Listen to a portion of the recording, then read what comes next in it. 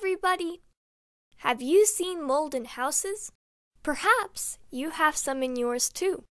In this video, we will show you microscopic images of fungi from samples collected in residential places in order to introduce you to organisms with which people often share their homes.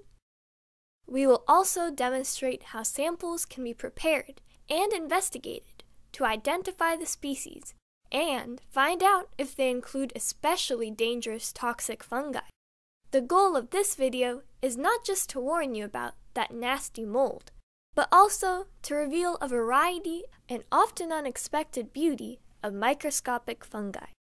First thing you need to know is that there is no good mold in a house. Period. If it's not plain toxic, it's allergenic and will drain the immune system. Avoid moisture and leaks because this is how mold gets a hold of buildings. Fungi gorge mostly on plant material called cellulose, the main component of plant cell wall, and 40 to 50% of wood is cellulose. The chemical called capsaicin that makes the peppers like chili hot were likely developed by plants not to deter animals from eating them, but rather as an antifungal agent against pathogenic fungi Fusarium.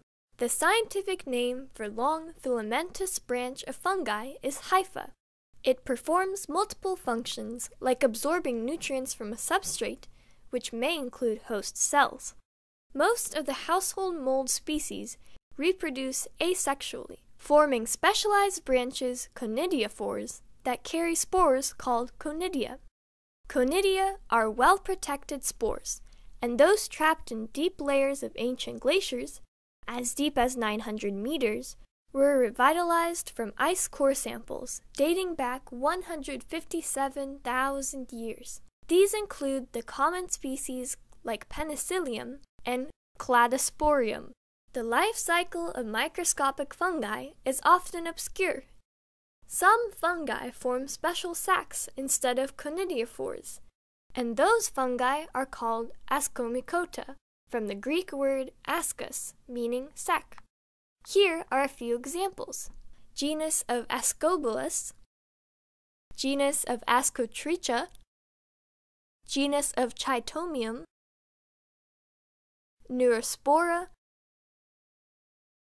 Podospora, Pyrenochaeta, Sordaria, and Saccobolus. This particular species of Aspergillus genus, Aspergillus nidulans, does develop sacs, while most of the species of this infamous genus have conidiophores. Dangerous black mold belongs to this genus as well. This is how it looks like under the microscope. These fungi produce potent mycotoxins, and in rare cases, black mold can cause lung disease, aspergillosis.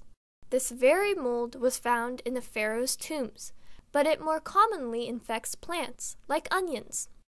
As it is often the case, dangerous stuff can be useful, and according to Wikipedia, Aspergillus is cultured industrially to aid with production of citric acid, gluconic acid, and fructose corn syrup, as well as with clarification of cider and wine. Even in silver mining, black mold helps to extract silver via biosorption. Isn't it amazing? Another fungus with common name black mold is Stachybotrys. To produce the images you see, the fungi were collected with a technique known as tape lift, when the piece of transparent office tape is pressed into the suspected surface and the parts of fungi, like spores, conidia to be precise, and fragments of hypha stick to it.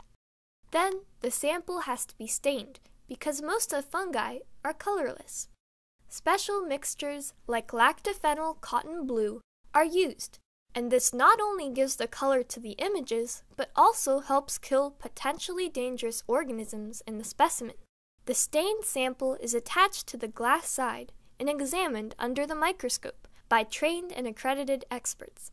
Even though the fungi on these images were identified by such an expert, the classification may change. So, Feel free to leave a comment if you notice any discrepancies. Now, to wrap it up. If you feel an unexplained headache, have problems with sleep, pain in muscles or joints, experience frequent infection, it would not be a bad idea to check whether it is caused by mold in your residence. The fungus Microsporum, for instance, is being blamed for hair loss. Any leaks? Treat them seriously and make sure to get rid of affected wall panels. Mold can grow inside of them, undetected for years. Thanks for watching! Do not forget to check out a few useful links about mold associated problems in the description and watch other interesting videos on our channel. Good luck!